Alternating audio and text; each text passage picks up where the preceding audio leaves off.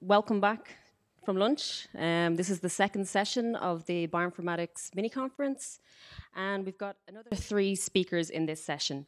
So, but before that, we're just going to have a brief message from Tony Papenfuss, who's the president of the Australian Bioinformatics Society, and he's also um, group leader at two institutes in Melbourne, both the Walter and Eliza Hall Institute and also the Peter MacCallum Cancer Centre, but he's going to speak briefly now on behalf of the Australian Bioinformatics Society Abacus. Tony. Thanks, Maria. So um, I'm just going to talk to you very briefly about our society. Um, before I begin, this is really important. I'm going to use the word abacus a lot. It's how we pronounce our um, acronym. So you need to know that, otherwise you will think I'm a madman.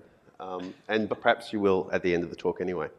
Um, so this morning you heard from uh, three speakers and who, who, gave you a really great flavour of uh, bioinformatics.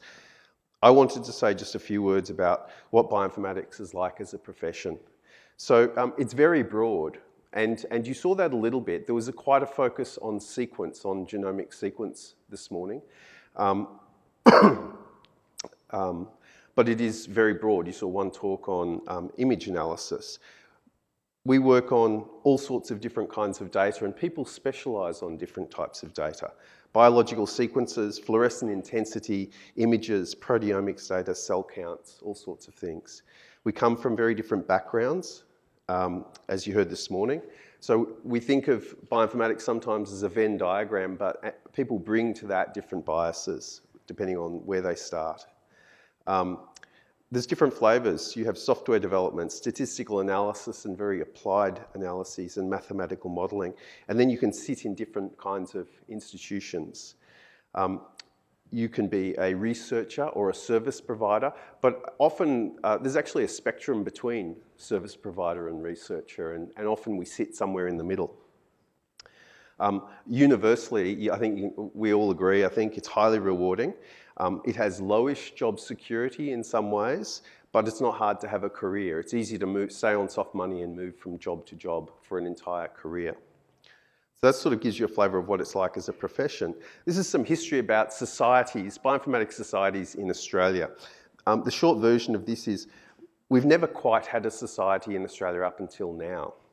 There's been stuff going on that's kind of prevented a proper society getting up off the ground. There was a real grassroots Association of Australian Bioinformatics in the early 2000s. I think it lasted for about six weeks. And then it merged into this um, special interest group, which was part of AusBiotech, which was not a society had, and had virtually no membership, but really um, uh, was the, in, well, in some ways was the peak body of bioinformatics for a few years. They ran, um, it had small membership because it was unaffordable to join sitting in a, an, um, a biotech society. Um, and this led to the situation where it was about seven people, sort of the, the membership of that group. Um, but we all went to their conferences, and the conferences were really good for a couple of years. Um, there were all these, there were all these, um, there was also these two bioinformatics networks one from 2006 to 2007, which kind of just reviewed what was going on in bioinformatics and then ceased to exist. And another one which lasted longer financially and in fact still goes in some sense. So um, from 2012 to 2014, an organisation called EMBL Australia and CSIRO funded um, uh, the Australian Bioinformatics Network. And it was really set up to communicate between quantitative scientists and bioinformaticians and the biological community. Um, uh, an important resource that emerged out of this was a website and um, which was kind of a communications hub for bioinformatics. And the, uh, the, society that I'll tell you about in a minute took that over. Um, so uh, up until 2014, we didn't exactly have a society. And we weren't having annual conferences and activities like that. Um, but in 2014, we, we, we finally uh, formed one. It, was, it really came about as a result of grassroots efforts, a lot of networking and conversations. We came up with a bunch of aims that I'm not going to read out, except for that last one. Really, part of the vision of the society is to develop community, the, the bioinformatics community. Um, so how's it going? We've got 305 members already. Um, we have brought in, and we'll bring in again, about $50,000 in sponsorship a year, which is terrific. A lot of that goes on funding two major uh, training events. One called BioInfo Summer, which um, unsurprisingly runs in the summertime each year. It moves around the country. and another one um, called the University of Queensland Winter School in Mathematics and Computational Biology. So these run every year and have done since, uh, well, in the case of BioInfo um, 2010 it was rebooted. It used to run in the early 2000s as well. We run an annual conference and we use a big chunk of that sponsorship to support students at the annual conference.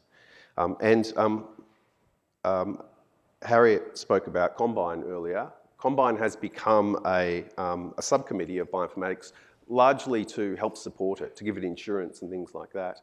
Um, and um, when we were discussing it becoming a, a subcommittee, um, what we, are, what we suggested or what we hoped for was that it would be, um, what were the terms? Highly autonomous and militant. And they are, they're fantastic. So what are we up to? We've, um, we are involved um, organisationally in lots of different things, in advocacy and in training. Um, we've become a member of a number of different organisations which provide resources to the members of the society. So for example, we're a member of the Global, I always have to read this because I can't remember it, the Global Organisation for Bioinformatics Learning, Education and Training, or GOBLET. Um, and um, that gives us access to open source educational resources. Well, the, um, the um, we've established an education committee to help coordinate training. It's fairly light touch. We're not really coordinating so much as encouraging communication so training events don't clash. Um, and we're involved in representation and advocacy. So we sit on um, a few national steering committees for bioinformatics, um, we're talking to the Australian Mathematical Sciences Institute about becoming a, uh, um, uh, an organisation member of them. And we advocate to the NHMRC as well, which is where a lot of funding comes from for bioinformatics positions. Coolest of all, we have an annual conference now and we have the mechanisms to keep it going. A bank account and an ABN and some insurance. Um, so the first uh, uh Abacus conference was in Sydney last year. There are 190 delegates, six invited talks. Um, one of the international invited speakers said it has a great vibe, and I think that's the best way to sum it up. Um, it actually followed another really great um, bioinformatics conference the year before, which in some ways didn't have a mechanism to keep going. And that's what the society gives us, is that, this mechanism to roll, to, to build up little nest eggs so that if a conference makes a loss, we can cover it, and to roll things over from year to year. Um, the next conference is in um, Brisbane this year. Um, it's going to have a number of different satellite meetings. There'll be a combined student meeting, a goblet meeting. You know what goblet is now.